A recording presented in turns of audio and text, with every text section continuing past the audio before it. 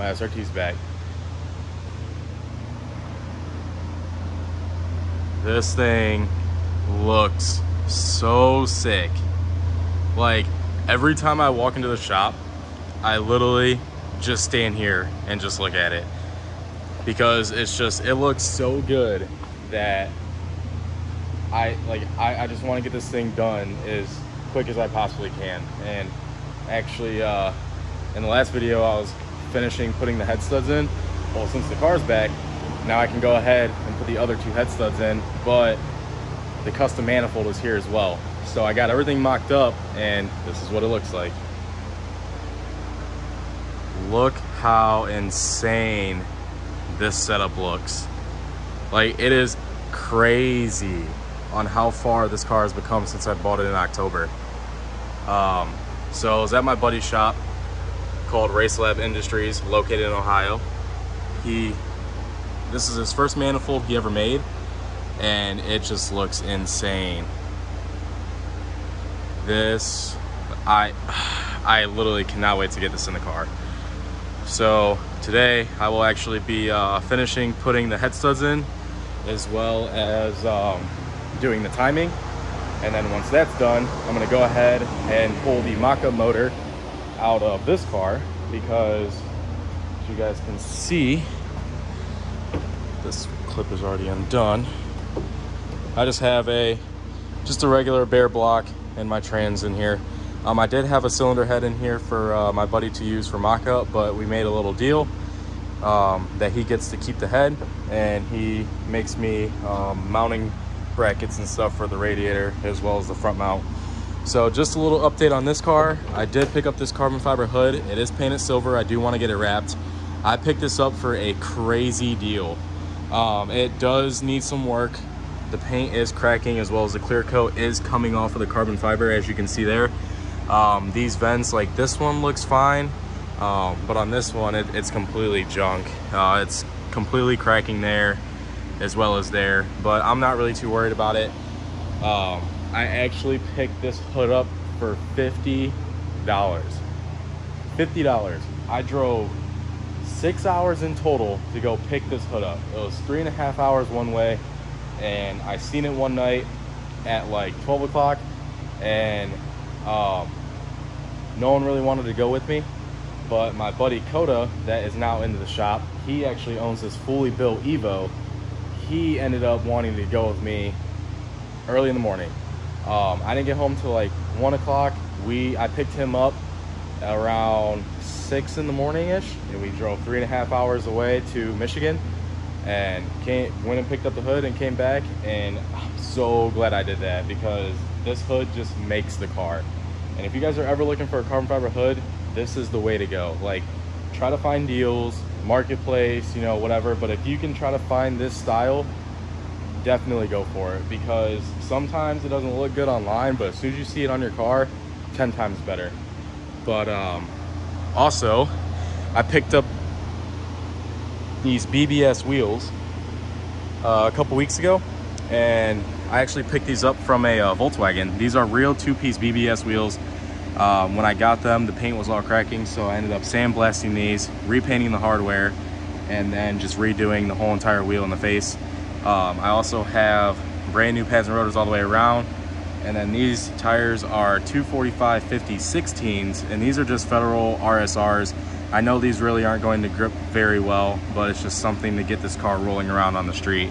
And they just look really good. Um, also, I just have basic tires for the rear, and I'm also gonna get those mounted up just to see what they look like. Um, when I put the rims on a while ago, they kind of sat inward, so basically the you know, typical hovercraft look for SRTs in the rear. So on the front, I actually have a one inch spacer that I have to get for the rear. So that way they sit flush. Um, other than that, really not much has changed except I got my fuel pumps on. I got the fuel cell all hooked up. I just need a couple more fittings in the fuel system. But uh, we fully got all the harness. I, well, I, I, don't know if I showed you guys, but I got a full harness now. It's a RaceQuip five point harness. It has the uh, quick disconnect on it as well. Um, we got all five points fully mounted. Um, the switch panel is coming along very nicely. I have the fans wired up. I have the fuel pumps wired up as well. I think I think that's it actually. Um, and then I just have to wire up some lights and some other miscellaneous stuff. But other than that, not much has changed. As I said, the car's been gone for around two months to get custom parts made. Um, it will be going back, hopefully during the winter, to get a full 8.5 certified cage um, because I want to make this thing as safe as possible. I do definitely do not want to cheap out on safety. That's like my number one thing at the moment. Um, like I do want to get it running, but I also want to have it as safe, like as safe as possible because I know I will be giving people rides in it, which I don't mind. So if I can make it safe for me and other people, you know, that I'm, I'm, I'm, okay with that. Um, so that's basically about it. I also got this carbon fiber trunk, which I don't know if I showed you guys that either. I, I don't remember what I showed you guys, to be honest. But I got the rear cutouts in the bumper, brand new tail lights, carbon fiber trunk. I also got this for a steal. Um, but that's basically about it. So I'm gonna go ahead and, I don't know. I'm gonna go ahead, get the head studs, and then put them in the motor, and then time it. And then after I get done timing that, then I'll go ahead start yanking the mock-up motor out of this car and maybe place that one in. I'm not 100% sure because I don't have a clutch. So if anything, it'll just sit in there and I, I kind of don't want it just to sit in there. So I may just leave it out, but I do want to pull this mock-up motor out just so that way, when I do get my clutch in, I can go ahead and throw it all in at once and, you know, go from there. But I think I'm probably going to throw it on jack stands, take the rear wheels off, and then figure out what other fittings I need for the fuel system. And then um, we'll just go from there. So I'm to go ahead and start timing the motor. All right, so I went ahead and got these two middle studs put in as well as the uh, nuts. So now I'm gonna go ahead and torque these ARP head studs down. If you don't know and you're looking to torque these down, there's a three step phase. You do 28 foot-pounds, 56, and then 85. And then um, you can just look up just a regular torque pattern on the proper way to torque down all these head stud bolts. All right, so now that I got my torque stick set to 28 foot-pounds. I'm gonna go ahead and torque every one until it clicks.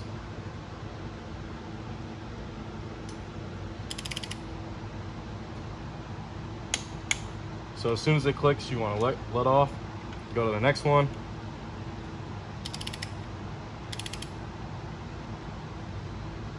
Clicks. And so forth, so on and so forth. And if you don't know, or you don't want to look it up, for the torque pattern, it goes, you start from the bottom middle on the intake side, you go one, two, three, four, five, six, seven, eight, nine, ten. You go directly in that order. And so for ARPs, just like I said, you go in that direct order. You do one full sweep at 28 foot-pounds. The next sweep is 56 foot-pounds. And then the third final sweep is 85 foot-pounds. So I'm gonna go ahead and finish torquing these all down.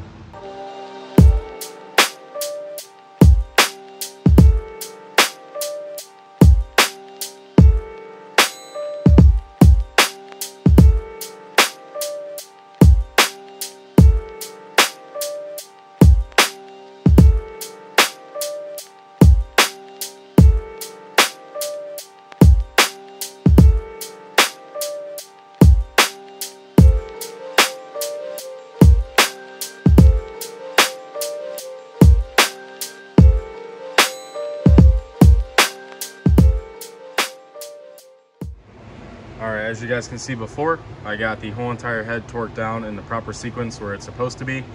Now the head is fully torqued down and ready to go. Now I'm gonna go grab some assembly lube, douse this whole thing in assembly lube as well as the cams, throw the cams back in, and then put the cam caps on, and then get those torqued down to spec as well. All right, this is going to be the assembly lube that I'm using, Lucas Oil Products. This stuff works great, so I'm gonna go ahead and lube everything up.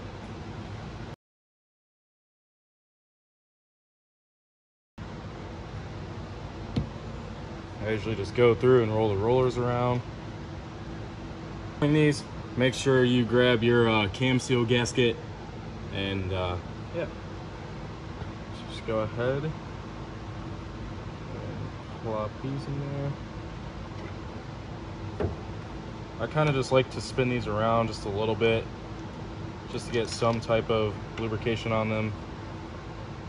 But um, my fell off.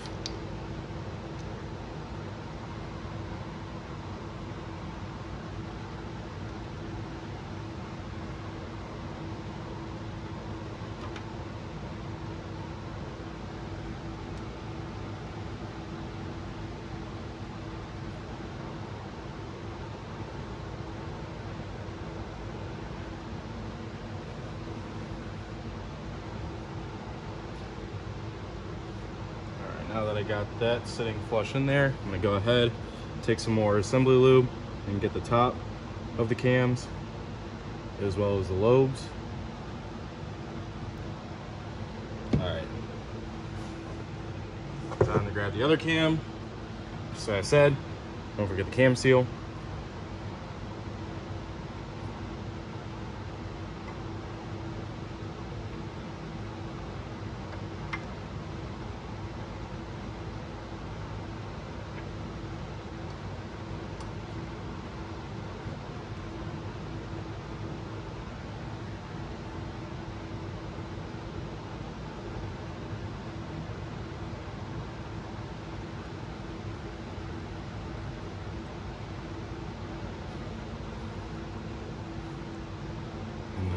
As well. Just some more assembly lube, throw it on top.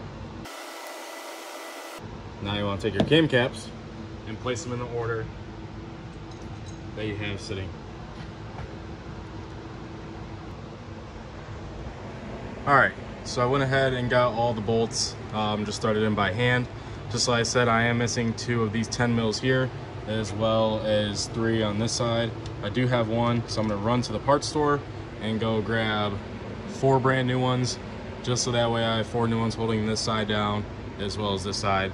And then I'm gonna go ahead and come back and get these fully torqued down. All right, so as you guys can see, I got the back end of the Blue SRT jacked up. Um, just like I said, in the last video, I have tires mounted on the other BBS wheels, which are sitting right here. Um, these aren't the tires are gonna be running, but just so I can, you know, drive around the street when it's done, and I'll figure out what what size tire I want in the in the back end. But now I'm gonna go ahead, grab these wheels, and then put them on the car.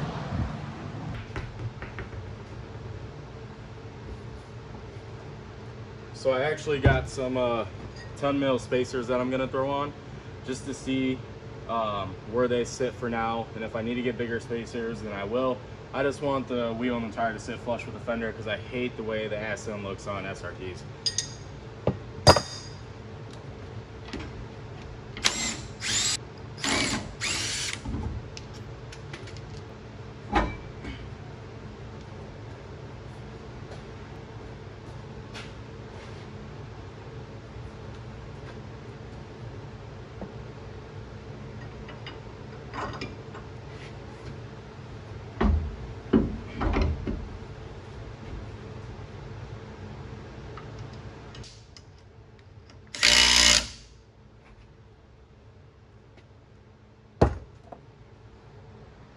So far with it in the air, it doesn't look that bad. But I'm gonna go ahead and get the other side on. Um, and then also when I lower it on the ground, um, I wanna see how it sits because I do have to raise the front end a little bit. And I also want the ass end to be a little higher than the front end because I kind of want the car to sit at an angle just so that way all, all the weight is basically transfer to the front at all times because front wheel drive, you want the, all most of the way in the front. So.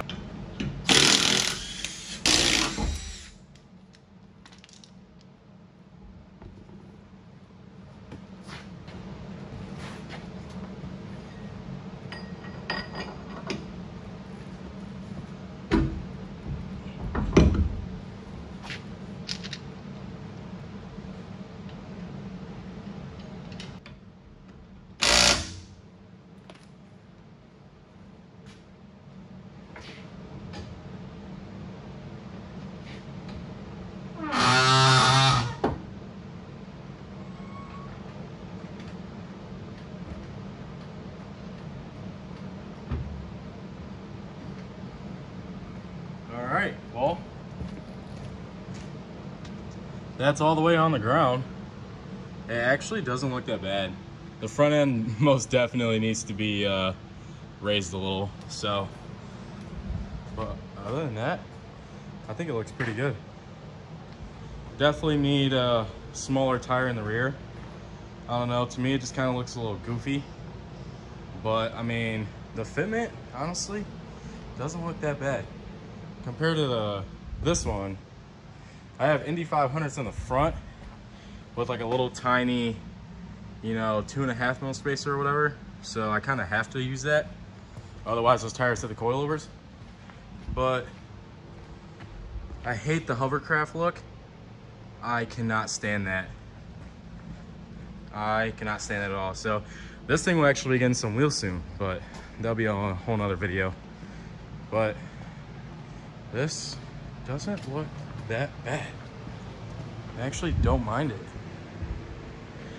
I think I might just keep it for now, just so that way I can keep it off the spares. And if I ever need to use the spares to, you know, maybe go pick up another roller, maybe, who knows? But, hell yeah. It's looking mighty fine good. But, all right, well, now that I got those on, now I'm gonna run to the parts store and get the bolts that I need for uh, these caps. Just got back from the parts store, picked up these uh, bolts for the cam caps, uh, as well as picked up this uh, valve cover gasket since they had it in stock. So I'm gonna go ahead, throw these bolts in, and then get the eight millimeter bolts torqued down to, um, it's like eight pounds or a little over eight pounds. And then these other bigger bolts are torqued down to 20 foot pounds. So I'm gonna go ahead and get those in. So I went ahead and got all the cam caps bolted down. Um, I didn't really feel like filming any of that. It's just pretty straightforward. Um, and then I went ahead and got the new valve cover gasket on the valve cover as well. And if you see here, I put a little bit of RTV in these crevices, just so that way there's a little extra, um, uh, you know, sealing on the corners because it does tend to leak in there. So now I'm just gonna go ahead, throw the valve cover on, and I do have all the valve cover bolts, but I'm unsure on if I can use them with this or if I just have to get all new hardware as well as you use O-rings because I feel like if I use these, it's just going to cause a leak that's just gonna bug me. So um, I'm gonna go ahead and put the valve cover on and just get it sitting on there flush and then um, I'll see if I can use these. Found the new hardware and the old hardware. Um, so if you look at this, there's this rubber seal that sits over this like flange washer. The thing is though, is this doesn't come off of the threads. So if I even if I wanted to take it off, I couldn't unless I cut these, but I don't want to ruin them just in case if I have to use them. But the rubber seals do come off. So I may just run it like this just to see if it works. And if it doesn't, then I can just go ahead and throw the old ones back in. They're not hard to change. I would like to use the new ones, so I'm gonna try to use them. And if I can't, then I'll just revert back to trying to make these work. So I'm gonna go ahead and get all those set up and then get them thrown on the valve cover and then get that bolted down. All right, so now that I'm running into issues to where I can't get these O-rings off or these seals off, I remembered that I have this assortment of rubber O-rings here. So I'm gonna go ahead and try to find the right one that fits snug around here and hopefully throw those on. And if they seal, that would be nice. If not, then I'm just gonna have to use the old ones or figure out if I can just order these separate. So just gonna have to do that.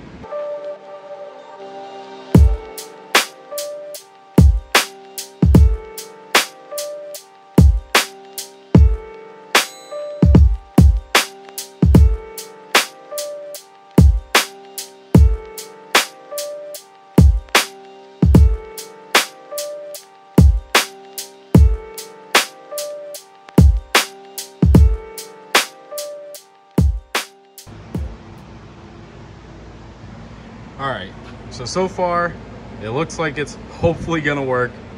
Um but it looks really good. Valve cover is a little dirty but it looks really good with the hardware.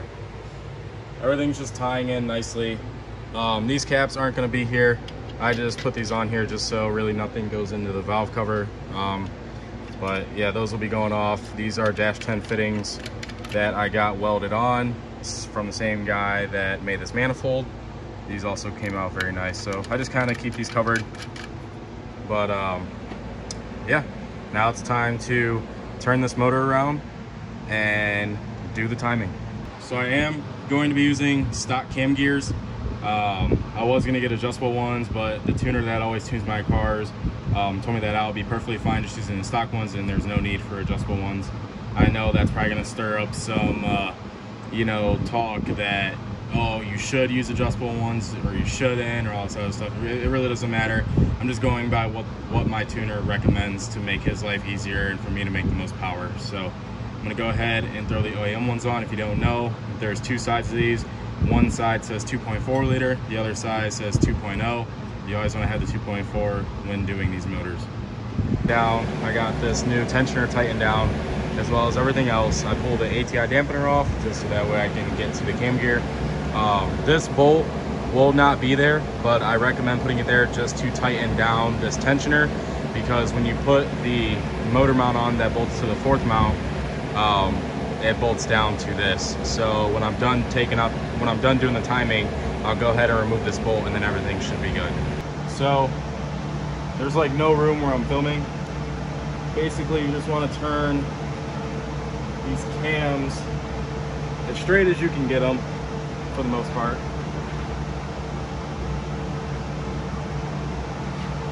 So just get them kind of straight. You want these to be equal as possible. And you also want this bottom cam gear to be top dead center. So this arrow needs to be matched up with the arrow on the water pump. All right, so as you can see here, I got this arrow perfect with the arrow on the water pump. As you see this arrow right here, you'll know because there is a uh, there's a keyway that goes in there, and um, so there's an arrow on this crank pulley. You just match it up with that arrow. And then you just want to go ahead and throw the belt on. And then when you put the belt on, you just want to set the tensioner. And when you set the tensioner, the cam gear should equal out and be perfectly straight. You should be able to basically put like a piece of paper across this and both of these tabs or these notches, that one there and there and so on so on and so forth, those should be perfectly aligned. So I just right now got the belt sitting on there. For me, what I think is easiest is for me to get these cam gears as straight as possible by hand as well as getting the crank pulley and those arrows also aligned perfectly and then put it on the tensioner and then put it on this um, just this pulley and basically walking it and sliding onto the water pump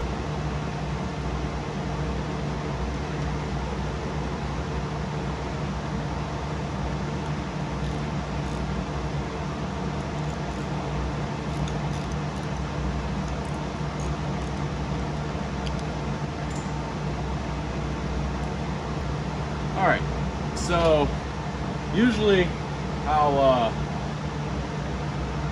usually I'll walk it on this, but it's kind of like it's it's really hard, basically to try to get it both ways. So um, this is lined up, this isn't. So now I'm gonna try to line them up with the tensioner.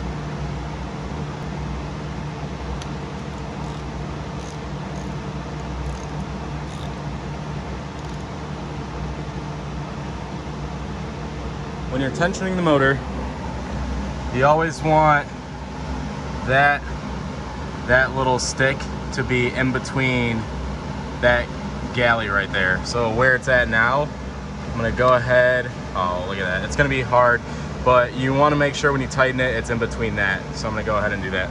All right, so it is the next day. Um, when I got done timing the motor, me and a buddy of mine ended up going to a local car meet and uh, we just basically went there, had some fun. Uh, really didn't get any runs in, but basically just went there to hang out. And um, this is basically the outro. So as always, like, comment, subscribe, and I'll see you guys in the next video. Peace.